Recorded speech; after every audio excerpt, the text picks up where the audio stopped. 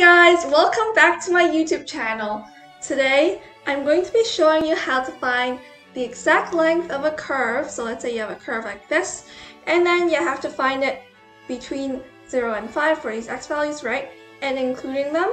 So now, the first step is the equation for the length of the curve basically is going to be equal to L equals integral, right? With a, b, and then the square root 1 plus dy over dx squared, and then dx right here. So here, a and b basically represent basically represent these endpoints. So a is going to be 0, and b is going to be 5, corresponding to each one. And then dy over dx here is going to be our derivative, so we need to find a derivative of this, okay, and that we will put in here. And so basically we have to find the derivative of this starting off. So derivative of this, basically dy over dx is going to be equal to, well, this is um, this here we have an exponent, so we can use the power rule for finding the derivative. So using the power rule, we just bring the 3 over 2 down. So 7 times 3 over 2, the next, right? And then here we subtract 1 from this exponent, so 3 over 2 minus 1. And then the 4, well, the derivative of 4 is just going to be 0. So here we're going to simplify. 7 times 3 is 21. This, this is over 2. And then this is x. And then 3 over 2 minus 1, 3 over 2 minus 2 over 2, right? The same thing as this. And then it's going to be 21 over 2, x. 3 minus 2 is going to be 1, so here it's a half. So it's going to be 21 over 2 times square root of x. So this is our derivative. So now that we got this derivative, we have to take this derivative, right, dy over dx, we have to plug it back into our formula. So let's plug everything into formula. So we have a and b, right? So let's write those in. So a is going to be 0, and b is going to be 5. And then we plug in the derivative, so here's just 1, we copy that 1, plus the square of the derivative, so 21 over 2 times square root of x all of this squared and then dx, like that. And then to find the length, we just basically evaluate this. So evaluating this, here we will get, we're going to simplify the square root, the stuff inside the square root. So 1 plus the square, we're going to square each one, so 21 squared, right? 21 squared and 2 squared. The square into each one of them using exponent rules. And then here it's square root of x, square root of x, right? Squared, it's going to cancel out eventually, so that will show in the next step. So here it's 1 plus 21 squared is going to be 441, and then 2 squared is going to be 4, and then square root of x squared, well they cancel out square root and square, they're opposite, so it's just going to be x like that then dx, like this. And then now for the next step, so we have to evaluate the integral of this whole thing. And to do that, the trick is we can use a substitution. So let's substitute, right? Let's let this be some sort of variable, this whole thing inside the square root. Okay, so let's let, let u equals 1 plus 441 over 4 times x, okay?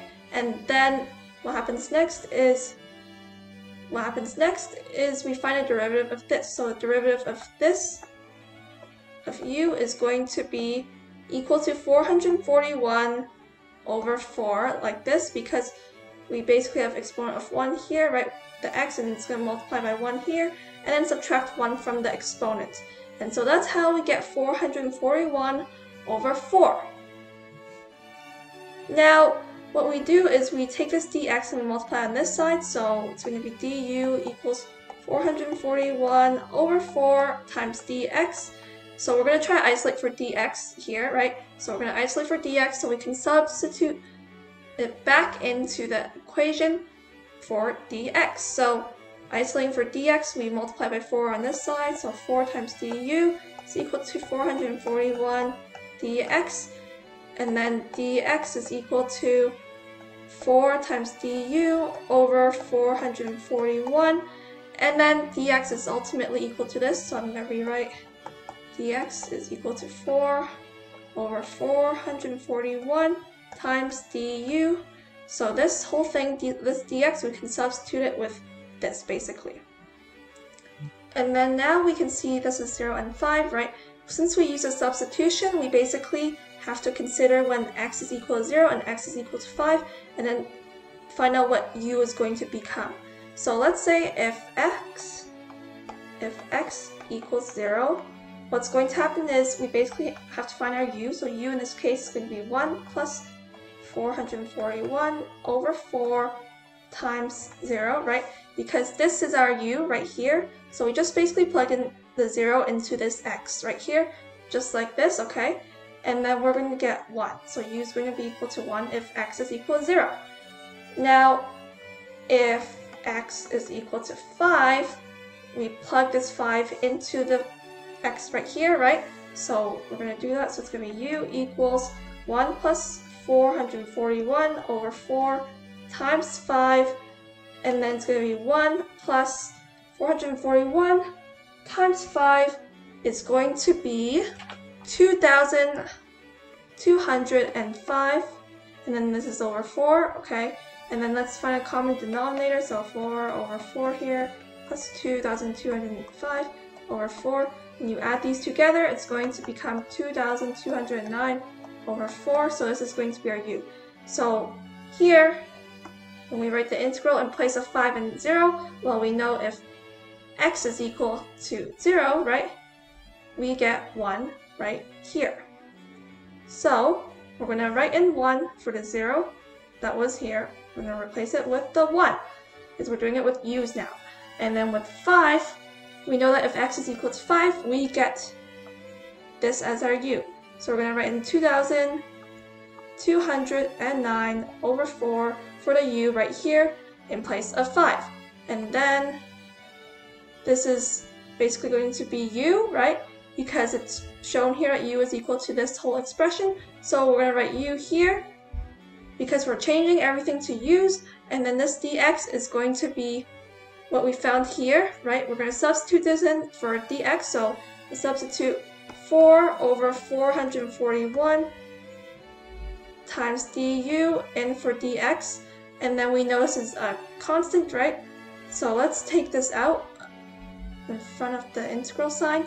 So it's a lot more easier to deal with. So 400, 4 over 441 this whole thing. And then this is u, the square root of u, right? Square root of u is the same as u to the exponent of 1 over 2, okay? And then this is just du right here. So we took this out and we have u to the exponent of 1, 1 half and then du. And then what happens next is we can integrate this.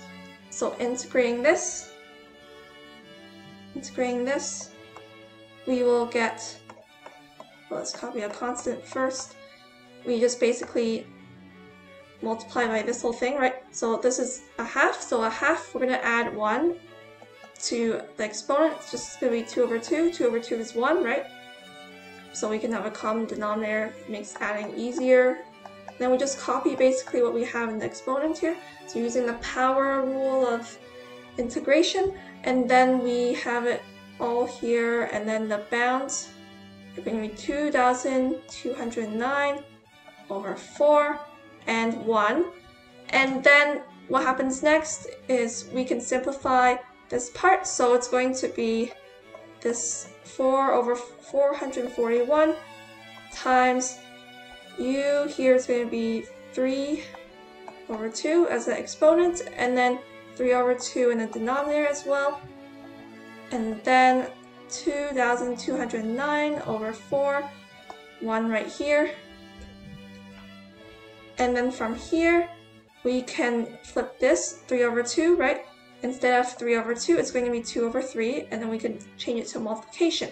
So it looks much better and more easier to deal with. So it's going to be 2 over 3 times u to the exponent 3 over 2. And then these bounds. And then after that, we can basically plug these in for u. So plug in these bounds in for u. So it's just going to be, we're going to put this out, we're to keep this out, and then it's going to be 2 over 3 times 2,209 over 4, this whole thing, right, this is our u, to the exponent of 3 over 2, minus, okay, minus, and then 2 over 3, and then u is going to be 1, right? So 1 to the exponent of 3 over 2 is just going to be 1, so we don't really have to write that part. Um, and then 4 over 441 times 2 over 3. And here this is going to be 2,209 to the exponent of 3 over 2. This is 4, right? Well, 4 we can rewrite it as um, 2 squared. Okay, it's going to make our life easier if we write it as 2 squared because we can take this exponent and we can cancel it out. I'll show you in the next step. So ultimately, we basically distribute this exponent here and here. So distributing it here to 4, it's going to, this is our 4, right? And then we just rewrote 4 as 2 squared. And then here it's going to be just 2 over 3, because if you multiply by 1, this is just 1, right? 1 6 1 3 over 2 is just 1, so it's going to be 1. And then next step, we have 4 over 441 times uh, this is going to be 2 over 3 times, let's rewrite this 2,209, let's rewrite it as 2,209 to the exponent of 2 over 2, right? So this will be basically to the exponent of 1. And then we can also write 2,209, write this whole thing multiplied by 2209 to the exponent of half, like this. Because here it's 3 over 2, right? 2 over 2 plus a half is going to give us 3 over 2. So we can change this to multiplication in accordance with exponent rules, exponent laws. So we have this, and then we look at this. Okay, 2 squared. 2 squared times 3 over 2, like that. Cancel out the 2, so it's just going to be a 3 here. Minus 2 over 3, like this. And then next step, we can see that this is 4 over 441. And then this is just 2 over 3 times. Well, this is just going to be 2,209, right? It's to the exponent of 1. Right here, 2 over 2 is 1, so it's just going to be 2,209. And here it's like the square root of square root of 2,209 which actually gives you a nice number. So I'll write that in the next step, but I'll show you why later. It says 2 to the exponent of 3. This is minus 2 over 3. And then next step, 4 over 441 times, well here this is to the exponent of 1, right? So we can basically cancel this and make this 2 squared instead. And then here we can write 1 over 3, right? This is going to become 1 over 3 times 2,209. The square root of 2,209 is going to be 47. So this is going to become 47 instead. After getting 2,209 to be 47, we look at the denominator. This is 2 squared. 2 squared is going to be 4. So we write 4 here. And then we have minus 2 over 3 right here. From here, we have to multiply these two together. So it's going to be 4 over 441. Here we're copying that. And then uh, let's multiply these two together. Yeah, why not? 3 times 4 is going to be 12. 2,209 times 47 is going to be 103,823 and then we minus 2 over 3 minus 2 over 3 and we know we can make a common denominator here so multiply by 4 okay and then so we can basically evaluate this part inside the brackets. 4 over 441 times this big number over 12 minus 8 over 12 and then we just basically subtract this. And subtracting that subtracting that here it's 4 over 441 subtracting that we will get 103,815 over 12 like this. And then we can divide this by 4 divide this by 4 it's going to become 3 and then rewriting this it will just be 103815 over 441 times 3 and furthermore we can divide this number by 3 dividing this number by 3 and dividing the bond by 3, right? Dividing this by 3 is so to get 1. Dividing this by 3, we will get 34605. So 34605, 34605 over 441. And then we can see that we can divide both the top and bottom by 9 divide by 9, and then we are ultimately going to get 3,845 over 49. So this is basically, this here, it's going to be the length, the length of the curve, right, for, represented by this equation, from 0 to 5, for x values from 0 to 5. And so yeah, and that's it. So anyways guys, this is the end of my video. Thank you for watching. Feel free to like, comment, and subscribe if you haven't done so already. And I look forward to seeing you in another one of my fun math videos next time. Bye guys!